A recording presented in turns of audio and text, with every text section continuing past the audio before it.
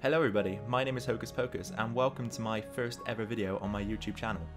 So right now you're about to watch episode 1 of my Minecraft survival let's play.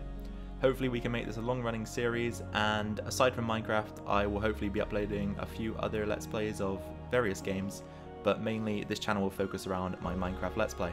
So without further ado let's jump right into it. Obviously we're going to be playing single player. Let's create a world and name it Hocus Pocus plays Minecraft. Hit enter and let's see what the game will generate us. So as I said, I'm hoping to make this quite a long running series. Obviously this is the very first episode, so if you like what you see, maybe subscribe and follow the channel to see what comes of this survival let's play. So you've probably all played Minecraft before. You know the very first thing you need to do is gather some wood, so let's go ahead with that. I also see some sheep in the distance, which is nice. So this tree looks like it will do. And once once I've once I've chopped this tree down and got a few materials together, I'm gonna look to get a base up and running. For now, I'll probably dig into the side of a mountain, maybe find a cave, something like that. That's generally what I like to do on Minecraft is to build underground because then you don't run the risk of creating ugly structures. Right, so now that I have six wood, it's probably about time that I built an axe, so let's get a crafting bench, some sticks, put the bench down, let's just create a wooden axe for now, just to aid ourselves with the wood collection process. I'm also going to need to use these planks to hop up there and get the remaining logs, as they're too high for me right now, so let's do that. And cut these last few logs down. Right, there we go. Let's get rid of this wooden base that I built. Okay, so now that I have my wood, I'm probably going to quickly create a sword and run over there and kill those sheep because having a bed on the first night is quite important, I think. Because you don't really want to be A, waiting out the night, or B, being attacked by monsters during the night, as right now I'm going to be pretty weak without any armor or any weapons. So here, let's take these sheep out and grab their wool. That's one wool, two wool, and then three is all we need for a bed. We're also able to grab ourselves some mutton, so that's nice. Okay, so I'm looking at this area here. It looks quite, quite nice. So maybe this is where we'll build our very first base. We're on the edge of a plains biome here, so not too bad at all. Right. Let's run, let's head back here. See if we can grab a sapling maybe so that I can replant these trees. Alright, it doesn't look like there are any around here. No. Okay, forget the sapling. Let's move on. Alright, so as I said, I quite like the look of this mountainous area here, so we'll head in this direction. You can also see there's some sort of cave formation right here, so that's that's nice and interesting. Alright, let's quickly head to the top, see if there's some sort of flat area that we can maybe think about building a base on. So I'll just head up here.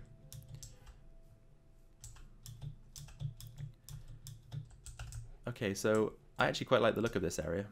There's a single tree here which I will take down in a second, hopefully get some saplings in return. There's a few chicken, chickens that we could uh, possibly capture and breed in the future. Yeah, I think this is quite a nice area actually. So what I'll do is, like I said, I will tear this tree down hopefully get some saplings from it.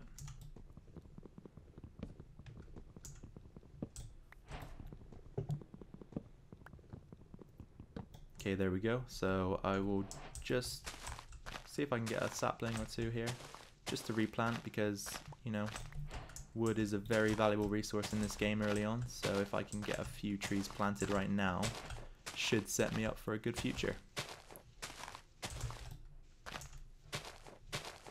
Alright, there is the second. Let's quickly jump in and grab that. Okay, so if I plant this about four spaces apart, so it's one, two, three, four, let's give it a four gap. Should be able to grow like that. Nice and easily.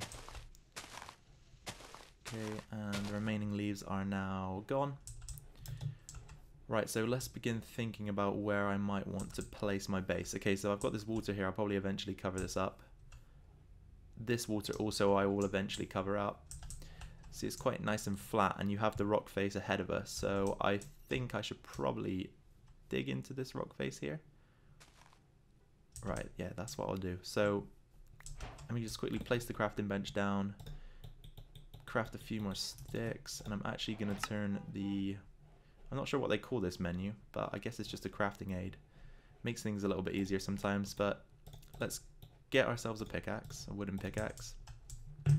And what I'm actually going to do is I'm going to place some wood down in the water because I feel like if I get to the back of this pool of water, I could actually build a quite a nice base as there is already a small outlet built into the into the cliff face. So if I just dig out a few more blocks here, make it a three by three for now. So that's the first three. Let's just quickly dig out the second three behind it to make it a 3 by 3 cube.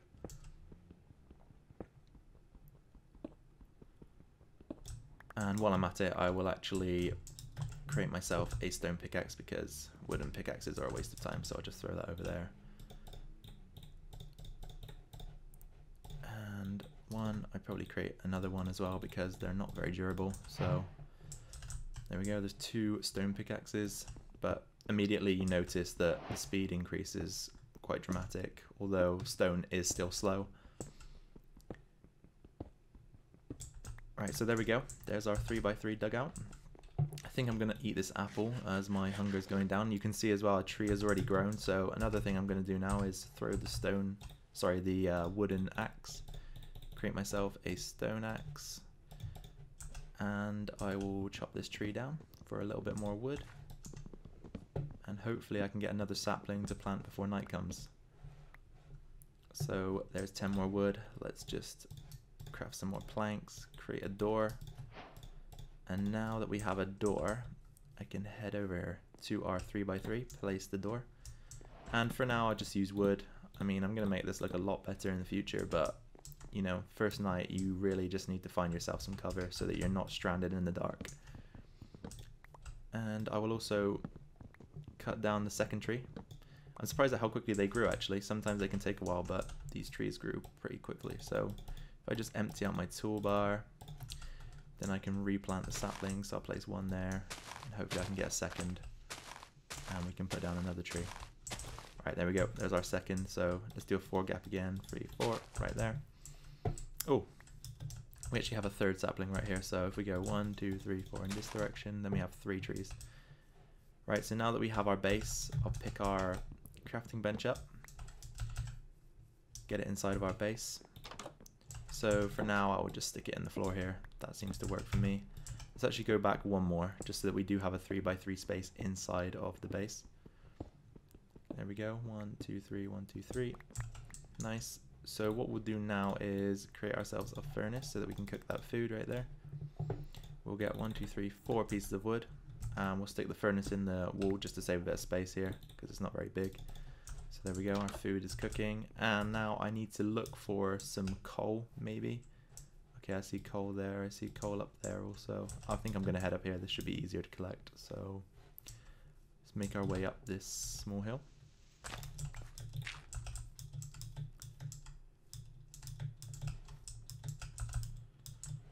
Right, there's actually two veins of coal, one right here and one here. I think I'm going to go for this one for now.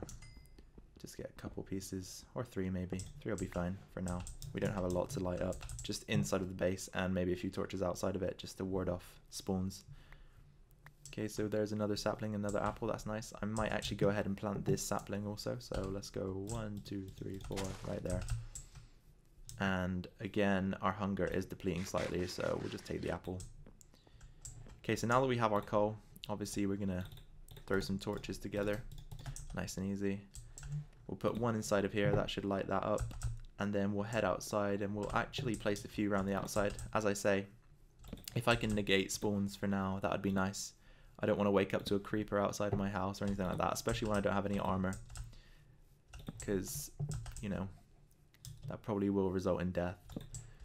That's something else I should probably mention If you just take a look, I am actually playing on normal. I won't be increasing or decreasing the difficulty at any time, unless it gets too easy for us. So maybe in the future we could increase our difficulty to hard, but for now I will remain on normal.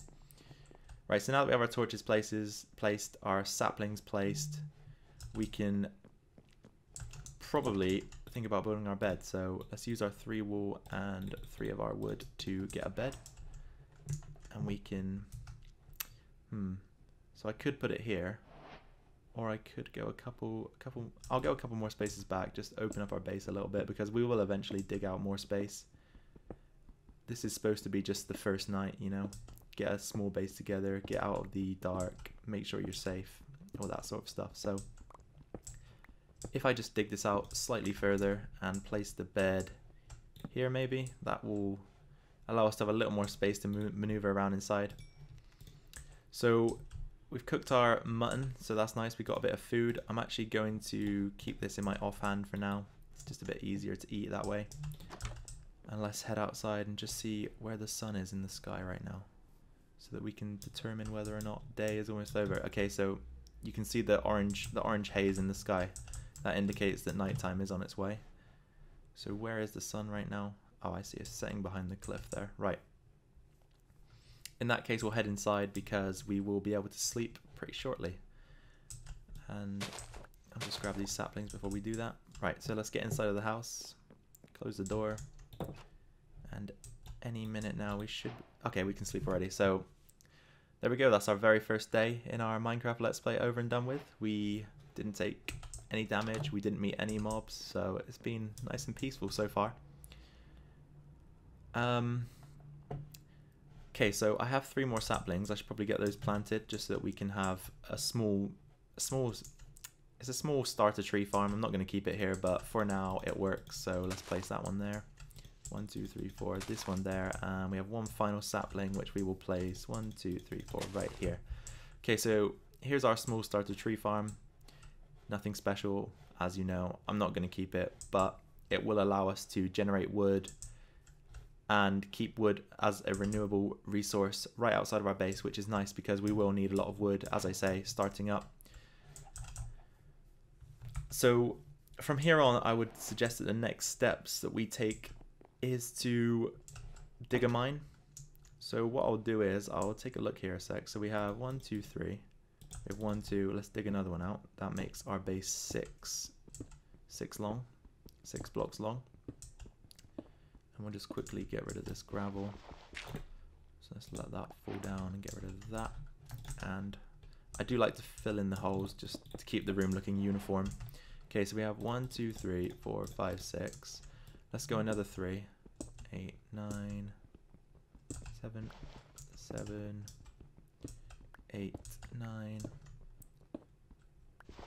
Okay, so this gravel is quite frustrating. Let's try and get rid of that as we go. Okay, there's a little bit more coal here as well, which is nice. We could use that to light up our base a little bit more. Okay, so we're coming to the end of the dig now. We'll just remove this gravel as it falls. Place a torch here and get rid of that gravel. Okay, let's just let this gravel fall, then we'll deal with it. Okay.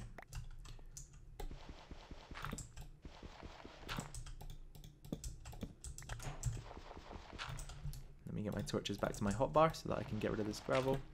There we go. Okay, so I'll fill in this part of the roof later, but for now we'll just stick a few torches down in here, light it up a little bit. Let's actually use this this coal to create some more torches, clean up our inventory a little bit. Okay, so I think maybe the best idea here would be to start our mine in this 3x3 area. So usually what I'll do is I will um, pick two blocks, so this one, this one for example, and just dig straight down to around level 11, level 10, and that is where I will begin my digging as that is where diamonds spawn. So it is the most efficient area in the game to dig. But I won't bore you with that footage. It's going to take quite a while. I need to craft some some ladders and torches. So I'll do that off camera and then I'll come back to you when it's complete. Okay, welcome back. So I've just finished digging out the mine which I'll show you in a second. But before I do that, I just want to quickly update you on a few things that have happened. So whilst I was down digging the mine, I found around 10 iron. I've decided to convert three of that into a pickaxe, and as you can see, I've stocked up on stone pickaxes also. That's because once I've shown it to you, I'm going to do a time-lapse mining session just for the first episode, and then I think we'll bring the episode to a close after I finish that. So without further ado, let's head down there and see what it looks like. So as I as I mentioned, I've dug down to level 10. And if you want to ever work out where you've dug to for yourself, just press F3 on your keyboard and look to the left hand side of the screen. You'll see X, Y, and Z. So the first number, negative 113, is X coordinate. The second number, 10, is the Y coordinate. And the third number, 1.219, is the Z coordinate. So that's an easy way to work out the level you're on if you want to build your own strip mine like this. Okay, so, so far all I've done is dig out a small 3x3 tunnel. I usually dig one strip and then leave two spaces, do another strip, leave two spaces, and so on, so forth. I will do that until the mine gets too big, basically, and then we can move on somewhere else, maybe. So, as I said, I'm gonna about I'm gonna do a quick mining time lapse just to see if we can get ourselves some nice materials together in the first episode. And once I've done that, I'll come back to you guys and close off the episode. So I'll catch you in a second.